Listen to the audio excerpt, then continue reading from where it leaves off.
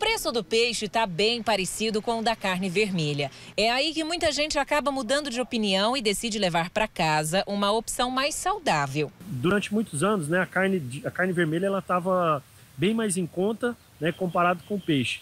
E hoje que está mais ou menos no mesmo nível, no mesmo preço, né, mesmos valores aí do quilo do peixe com o quilo da carne vermelha, o consumidor tem preferido então é, se alimentar com a carne do peixe, que é, a gente cabe é, ressaltar é uma proteína de excelente qualidade e com baixíssimos níveis de gordura também. Na casa do Bento, todo mundo gosta de peixe. Eu compro mais é a dourada para fazer molho e de vez em quando é pintado.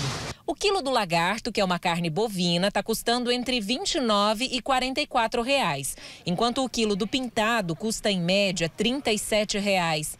Já o patinho varia de 29,90 a 46 reais, mas dá para substituir pela tilápia. O quilo custa em média 40 reais. A regra é mais ou menos assim: meio de semana, as pessoas querem um peixe mais rápido, mais fácil de ser preparado.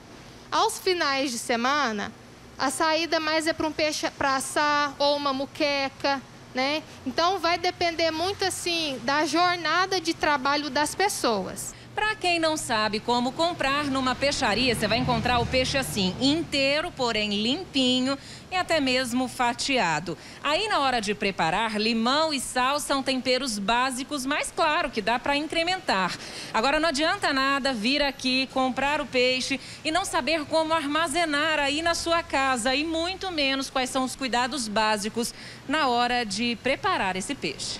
Para fazer o peixe frito, como ele está fresquinho, empana, para quem gosta de empanar, e óleo aquecido.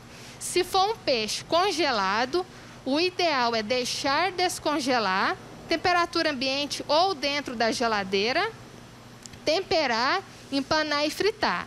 Nunca pôr um peixe é, igual a caranha, que ela tem mais, a, mais úmida, mais água, em óleo quente, para evi evitar de estourar o, a gordura, para não evitar queimadura. É bom saber também quando deixar o peixe na geladeira ou no freezer. Vai fazer até três dias.